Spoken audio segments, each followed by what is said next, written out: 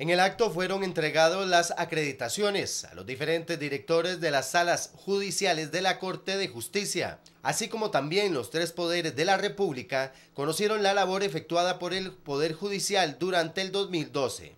Pero sin lugar a dudas el homenaje a Luis Paulino Mora Mora cautivó no solo a los empleados judiciales, sino también a los diputados, representación de Casa Presidencial y de la Fiscalía de la República.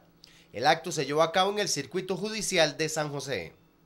El impacto de la labor de don Luis Paulino bien puede afirmarse va más allá de la de un juez de la República, para tornarse en una figura que desde la judicatura contribuyó de manera notable en consolidar el modelo de Estado democrático y social de derecho de nuestro país esforzado desde siempre porque existiera cada vez más una prestación de justicia de calidad, extensiva y altamente protectora de los derechos humanos. Previo a los actos de inicio del periodo judicial, se dio el homenaje al ex magistrado.